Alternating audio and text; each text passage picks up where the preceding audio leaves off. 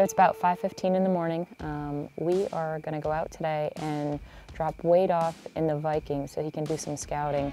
He's seen a lot of mature deer, um, different parts of the ranch, um, and we're gonna go out to a different tree stand than I haven't been at yet. And hopefully one of those big deers walks out in front of me this morning. So I've got my TC compass and we are ready to go.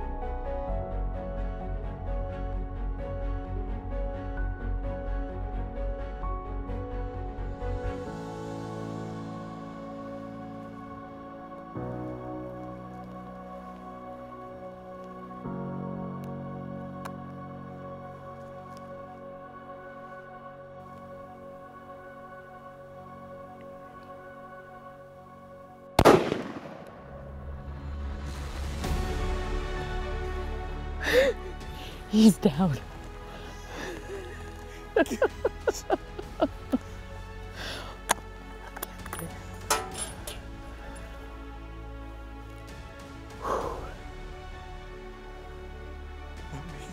You got behind his tracks. He didn't even move. He, I can see him. He is right there. wow. Got here up, it was still dark. We could hear them, but we couldn't see them. And uh, we saw some axis, some with horns, some without, some with a velvet. This stuff I've never seen before. I mean, it was amazing. And then we saw two really big 10 pointers, but they're only like two and a half, three years old.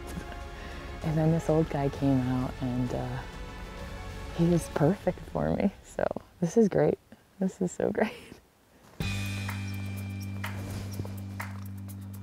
Nice. He's still got some velvet on him. Look at that. He's so cool. Look at this.